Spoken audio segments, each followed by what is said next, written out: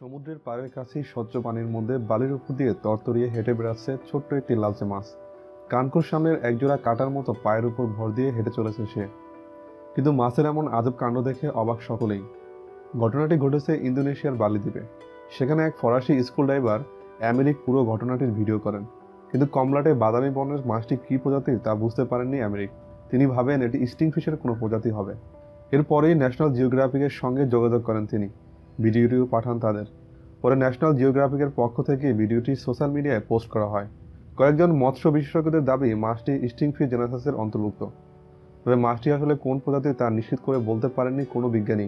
তবে national geographic জানাচ্ছে, মাছটির পায়ের মতো অংশটি আসলে তার পেক্টোরাল ফিন জাপানের কাগোশিমা ইউনিভার্সিটি মিউজিয়ামের মেরিন বায়োলজিস্ট হিরোইক মটোমুরা জানিয়েছেন স্টিং ফিশের সমস্ত প্রজাতি কাদার মধ্য থেকে কীটপতঙ্গ খুঁজে বের করতে এই পেক্টোরাল ফিন ব্যবহার করে।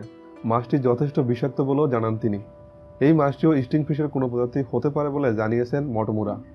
তবে এই মাছের হাঁটার গতি স্টিং ফিশের থেকে অনেকটাই বেশি, আর সেটাই বিজ্ঞানীদের আশ্চর্য করেছে সবচেয়ে বেশি।